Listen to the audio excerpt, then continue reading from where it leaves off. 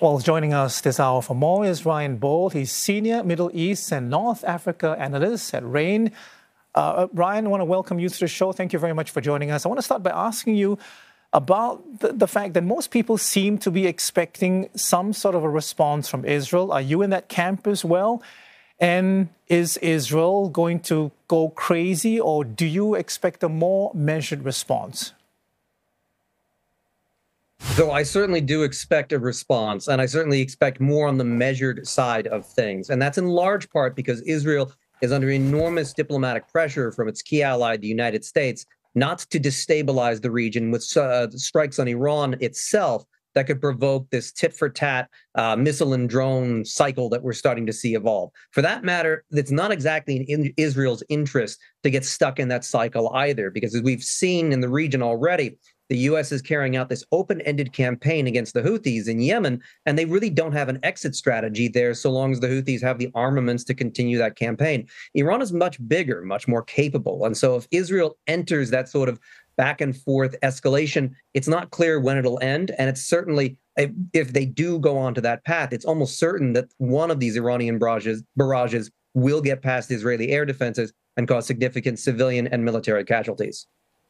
Well, Ryan, uh, who are the allies of Iran? I mean, we know it has, you know, the axis of resistance. Uh, who are the allies of Israel? What stake do all of these players have in the conflict, and how might they react? So, in terms of our axis of resistance fighters, many of them have political incentives to continue their attacks against Israel and against those powers that are seen as backing Israel, like the United States. And those political drivers are why they're doing what they're doing. They're gaining credibility on the ground. And most of them come from systems where there's no elections for them to restore their, their legitimacy. So, this is one of their most effective ways to win back support. That's Hezbollah in Syria. There's a variety of militias within Syria itself. It's the Houthis in Yemen and a series of Iraqi militias uh, within Iraq. And, and as long as they've got those political incentives to continue these harassment campaigns, those conflicts remain somewhat open ended. On the other side, the Israelis don't exactly have any clean allies in this current conflict. It has the United States, which is acting as something of a shield for Israel. They're uh, protecting them diplomatically, but as of uh, yesterday, on April 13th, they're also protecting them directly by intervening against the Iranian attacks. Beyond that, Israel doesn't have a lot of natural allies that wants to see them escalate any further than the situation currently is. Ryan, I want to ask your thoughts, you know, on something I'm trying to make sense of. Some reports suggesting that Iran carried out the attacks in phases giving the IDF time to react and, uh, and of course, limit the damage. Others are saying, uh, you know, the, Iran was testing Israel's air defenses. Is it possible at this stage to say which is the more, more likely scenario? I think many things were true all at once in the course of this attack. We do know, of course, Iran signaled very heavily uh, both through media and through their diplomats and through some back channels, that this attack was coming at a certain scale. And we've even got some reports that suggest that they may have been telegraphing this pretty intensely to the United States, although the U.S. still uh, denies that those reports are, are, are accurate. Nevertheless, I- Iran made it clear that they wanted this to be a politically symbolic moment. They wanted to show that they would strike back directly against Israel and take the shadow war out of the shadows and possibly keep it there in an overt sense uh, for a long period of time. So, in that sense, the Iranians were doing an attack that wasn't designed to destroy Israel's military capabilities or, or dis- uh, cause direct damage to its cities. Uh, it was more of a political attack using uh, drones and missiles and and and uh, these other these other systems uh, designed to again showcase that Iran would respond to Israeli military action. On the other hand, uh, I do think that Iran was using this as a learning experience. This is some of the longest strikes they've ever taken uh, against our rival. It is against a very advanced air defense system. So I certainly do think that the Iranians learned something uh, from this operation. Yes, you said taking the shadow war out of the shadows. Now, how has this latest um, attack changed the dynamics of this conflict, this long-standing conflict between Iran and Israel? Could we see more direct attacks between the two?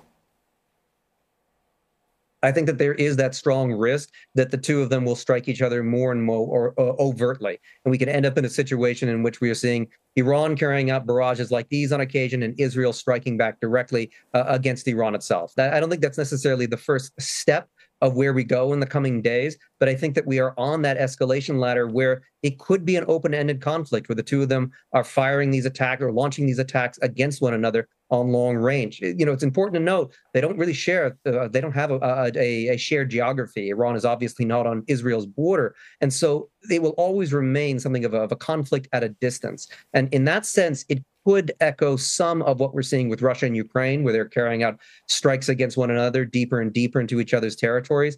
Um, that is a possibility. Again, I don't think that's the most likely thing to happen immediately, but that's certainly the path that we're on right now. Ryan, just want to circle back to your point about a measured, a possible measured response from Israel.